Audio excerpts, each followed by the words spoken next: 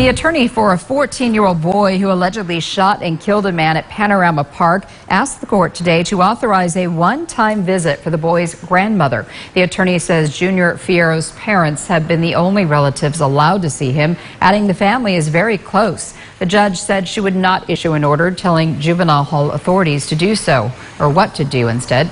Instead, she will defer to probation officials to make that decision. Fierros is charged with murder in the shooting death of 39-year-old Luis Mora. The shooting happened back on May 1st on Panorama Drive and River Boulevard.